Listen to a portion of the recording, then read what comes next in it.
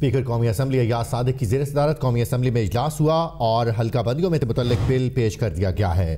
وزیر قانون زاہد حامد نے یہ بل پیش کیا ہے اور ان کی جانب سے یہ کہا گیا کہ سیون بی اور سیون سی کو اصل شکل میں بحال کر دیا گیا تھا۔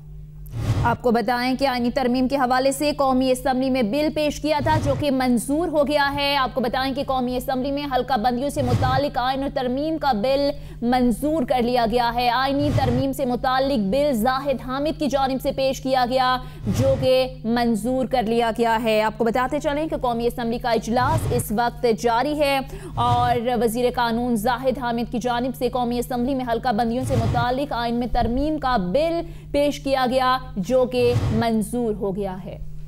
قومی اسمبلی کا اجلاس اس وقت جاری ہے۔ وزیر قانون سائد حامد نے یہ بل پیش کیا ہے اور قومی اسمبلی میں حلقہ بندیوں میں ترمیم سے متعلق یہ بل منظور کر لیا گیا ہے۔ دو ہزار دو میں سیکنڈ امینڈمنٹ نافذ کی گئی۔ وزیر قانون سائد حامد کی جانب سے یہ کہا گیا ہے اور سیون بی اور سیون سی کو بھی اصل شکل میں بحال کیا گیا ہے۔ قومی اسمبلی میں حلقہ بندیوں سے متعلق آئین میں ترمیم کا بل منظور کر لیا گیا ہے اور یہ بل وزیر قانون سائد حامد نے پیش کیا ہے۔